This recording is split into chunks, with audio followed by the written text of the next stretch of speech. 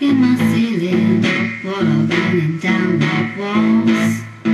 Broken joists in the hallway, and I ain't got no bed at all. Cause I'm an amicus and your eyes and